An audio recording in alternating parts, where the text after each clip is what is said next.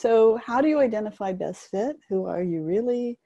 Um, this is my soapbox. Instruments don't work so well. They give you a data point. Uh, there's error, error rate in instruments. Self-discovery process. Well, there's error rate in that too, because I may use an example of something that you, of a pattern, and you may say, oh, that's not me. So that gives you some data.